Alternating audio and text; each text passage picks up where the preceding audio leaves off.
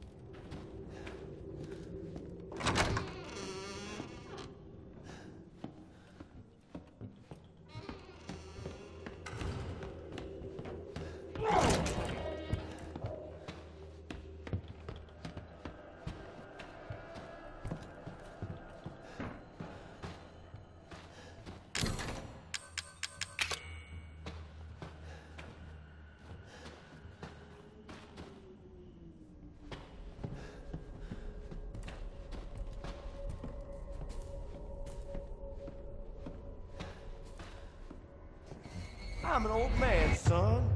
You can't take on an old man?